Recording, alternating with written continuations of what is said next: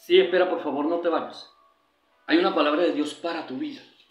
Resulta ser que con la mano de Dios lo podemos hacer.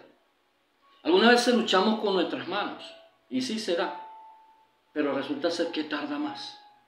O que Dios quiere lo mejor para ti, porque Dios te está llamando a que Él desea lo mejor para ti. Yo considero que es el tiempo de aceptar ese bendito llamado de parte de Dios sobre tu vida. Soy el profesor Hermes José González, sígueme en esta plataforma, comparte, dale like, dale corazoncito. Recuerda que Jesús te ama. Y hay una palabra de Dios que cuando tú colocas a Dios en tu vida, en tus planes, en tus propósitos, puede ser que tardes. Sí, es normal, porque Dios quiere lo mejor para ti. Puede ser que sea rápido porque es el plan de Dios y el propósito de Dios.